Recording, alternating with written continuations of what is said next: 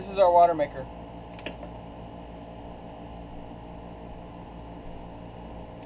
It's a good water maker. Anyway, what we have so far is we've had to basically build our water maker from the ground up. And learning how a water maker works has been part of the challenge. So, this is what we have. We have a cat pump, 237. It's the expensive cat pump. It's got a, an aluminum head or whatever. This is our production water that comes out. We've replaced the computer with a T-valve. This is the brine and the overflow and this is when we want to switch it to the tanks. And we're going to put a TDS meter right in here. This 12 volt electric motor, uh, 1750 RPMs. We got the new 12 tooth timing pulley engaged. And I built this to go here. It actually came with the machine. I sanded it all down. This will turn on our low pressure pump that we had to buy new. We don't have it in yet. And that'll turn on the electric uh, 12 volt motor. So that will fit there. So I'm fixing to put it together and we'll see how it goes.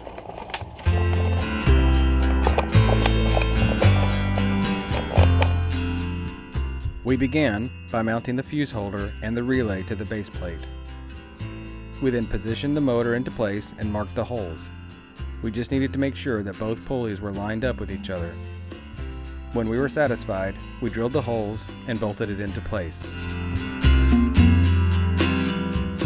Next, it was the control box. It houses the two switches that control the unit.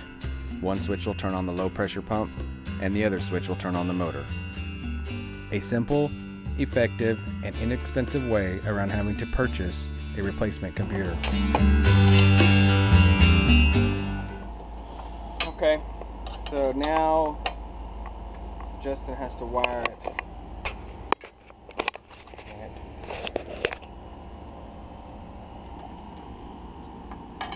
We've got.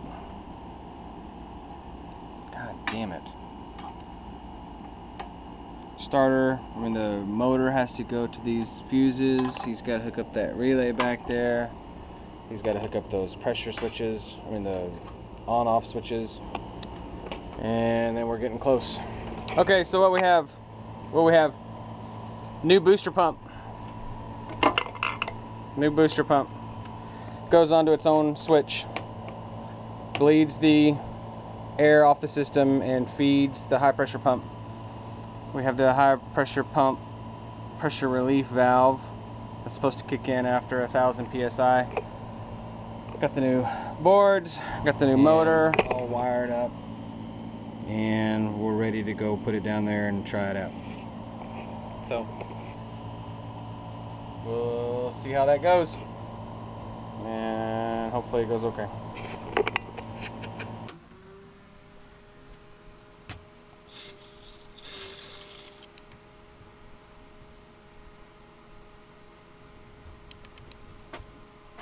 And you got this all the way down? Yep. Ready? I guess.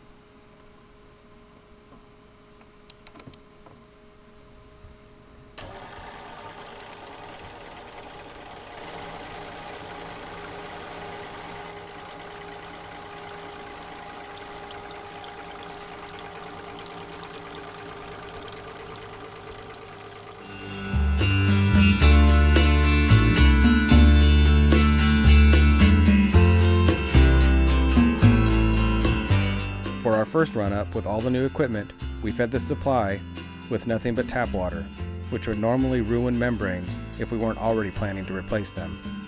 But we had to try out the system before I invested any more money into expensive membranes. We flipped the switch, bled the air, and powered up the motor.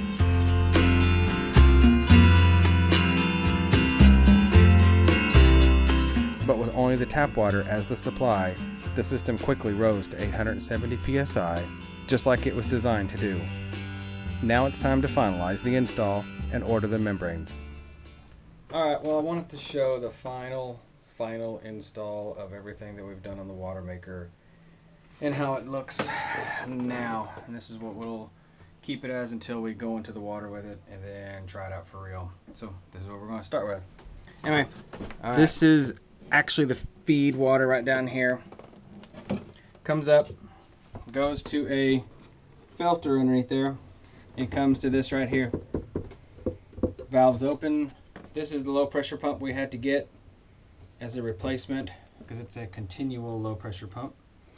It uh, comes up here, it feeds this, pushes water into here, filter, goes into the high pressure pump. High pressure pump does its thing, goes through the membranes, and this is where we've changed everything. Everything goes through the desalinators and it comes out here to the TDS meter that we've installed as a replacement to the computer. And this is the other thing we added. They did not have a bleed valve line integrated into this um, filter, but that is the new and improved water maker. But that's it. You can place orders for catching water on our website, Catching Rays. But in the meantime, my Z brackets, shut-off switch, and 6 gauge wire all arrived, and it was time to install the solar panels.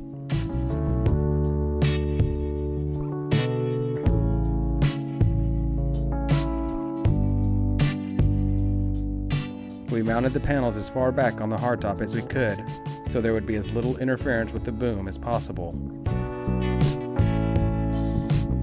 We lined them up, measured twice, drilled the holes, and put a dab of 5200 at each location.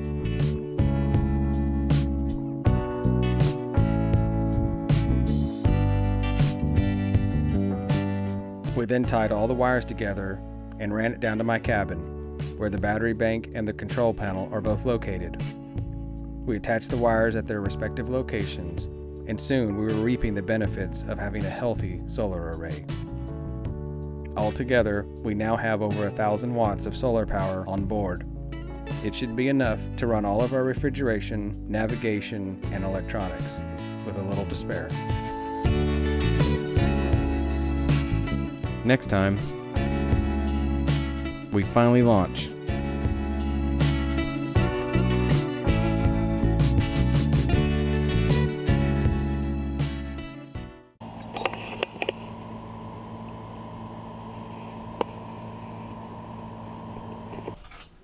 Doing?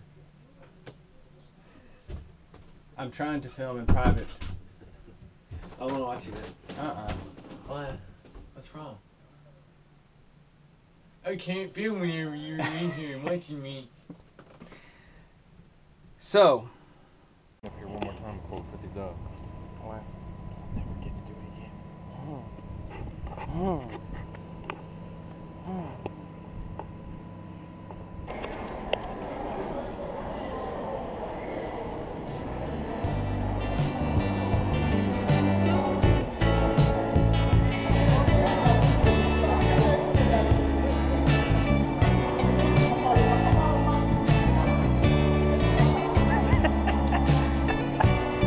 How'd you see me?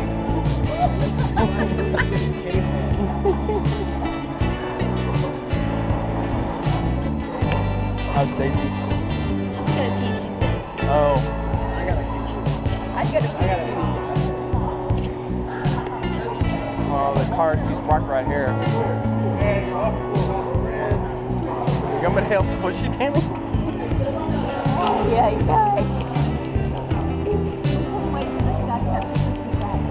Know, I saw them bringing a wheelchair that way, and I thought, I wonder if that's for them. And I thought, man, that's.